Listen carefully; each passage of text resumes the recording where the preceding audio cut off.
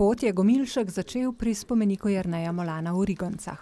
Grem tik ob meji, koliko se da. Pot še ni do konca začrtana, ker še zmeraj načrtujem, kje je pot bližje, ali po sosednjih državah ali v sami Sloveniji. Celoten projekt je posledica za obljube pred leti. Jaz sem pred leti zbolel z rakom, mene so operirali in takrat sem bil na tleh. Sem razmišljal, da ne bom nikoli več mogel sesti na kolo ali pa kolesaro, ali pa sploh da operacije ne bom preživel. In sem se takrat zaobljubil, da če se bom po domače povedal zlizel, ali pa če me bojo zdravniki zastavili skupaj, da bom nekam, nekam šel. Tako se je odločil, da meje Slovenije prekolesari s ponijem. Specialko s gorskim kolesom sem Slovenijo že prekolesaril po dolgom in poprek.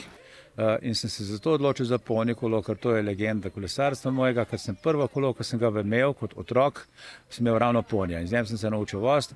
Gomilšek se še vedno zdravi, a mu zdravnik kolesarskega podviga ni odsvetoval.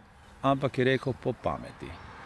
Največji zdravnik in največji pokazatelj ti ni uh, ura, polar, ampak je tvoje ožilje, ti čutiš srčni utrip pri sebi in če se počutiš dobro, nadaljuješ. In jaz, dokler bom se dobro počutil, bom nadaljeval in upam, upam, da bom, da bom prišel do konca, pa mogoče tudi malo raka od, od sebe odgnal stran.